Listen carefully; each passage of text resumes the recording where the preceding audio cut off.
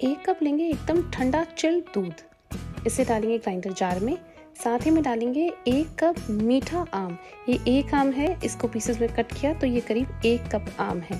बहुत मीठा है तो मीठा मीठा आम लेंगे। इसे भी ग्राइंडर जार में डालेंगे। वन फोर्थ चम्मच इलायची पाउडर डालें और अपने टेस्ट के हिसाब से चीनी डालें। चीनी बिल्कुल ऑप्शन है, आप नहीं डालना चाहें तो स्किप कर सकते हैं।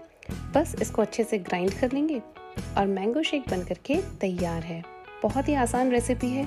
इसे सर्व करें अपने स्टाइल से और मज़े लें गर्मियों में मैंगो शेक के।